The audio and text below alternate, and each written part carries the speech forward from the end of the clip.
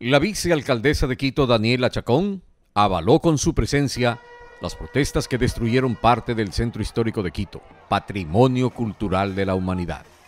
Daniela Chacón marchó junto a quienes destruyeron lugares patrimoniales como la Plaza Chica, la Plaza de Santo Domingo, la Plaza de San Francisco y los alrededores de la Iglesia de la Merced. Sitios históricos y emblemáticos donde se sacaron adoquines, se grafitearon paredes, se destruyeron bienes públicos y privados. Marchó junto a quienes hirieron a un centenar de policías con palos, tubos, voladores, bombas Molotov. Y en su cuenta de Twitter, Daniela Chacón escribe, Está en nosotros la responsabilidad de proteger nuestra ciudad y nuestros anhelos de libertad. La responsabilidad de proteger nuestra ciudad. Daniela Chacón y su complicidad con quienes destruyeron la capital. Así es como se hace política en este país.